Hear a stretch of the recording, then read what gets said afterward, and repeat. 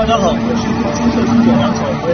我现在所在的位置是塞尔维亚首都贝尔格莱德的一处主干道上，大家可以看到，在我身后是当地的一处非常有名的地标性建筑。我们可以很清楚的看到，这里出现了中国熟悉的小米公司的广告。其实这几天走在贝尔格莱德的街头，我们都能看到有明显的中国品牌和中国元素。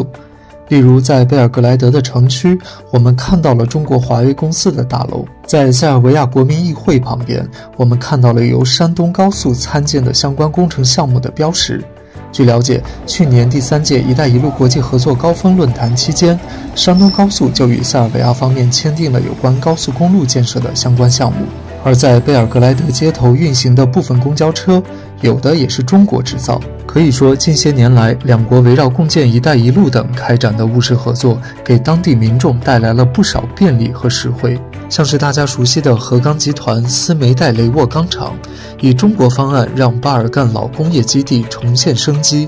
再如匈塞铁路推动塞尔维亚进入高铁时代，都给当地民众带来了实实在在的好处。